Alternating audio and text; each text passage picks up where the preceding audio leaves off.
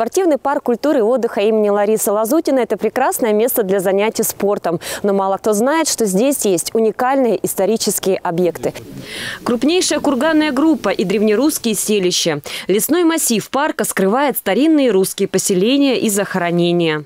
А это целый комплекс археологических памятников, расположенных на очень значительной территории. То есть он занимает э, фактически э, бассейн реки Самынки, начиная от северной окраины Одинцова и заканчивая Усовской железнодорожной веткой.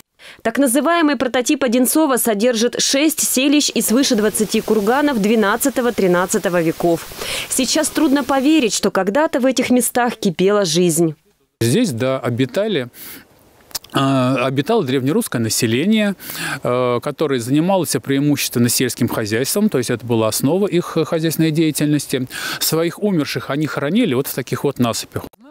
В насыпях захоронен один или несколько человек. Это были так называемые семейные усыпальницы. В иной мир близких отправляли со всеми почестями. Клали ценные вещи, горшки, еду. По этим предметам археологи многое узнали о народе и его традициях. Здесь встречаются так называемые семилопастные кольца, которые ассоциируются с вятичами.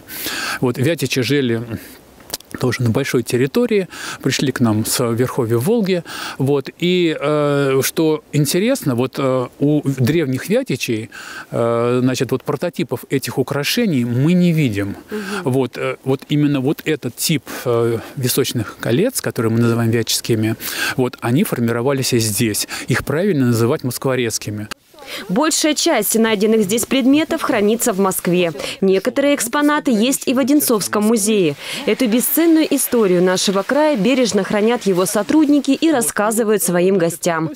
Интересные факты об одинцовских курганах и селищах смотрите в нашей программе «Про округ». Полина Бахова, Станислав Трифонов, Артем Ломоносов, телекомпания «Одинцова».